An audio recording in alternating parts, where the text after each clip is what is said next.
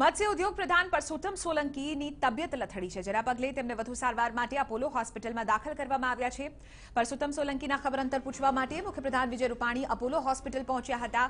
જ્યાં તેઓ સારવાર લઈ રહેલા પરસુતમ સોલંકી સાથે મુલાકાત કરી હતી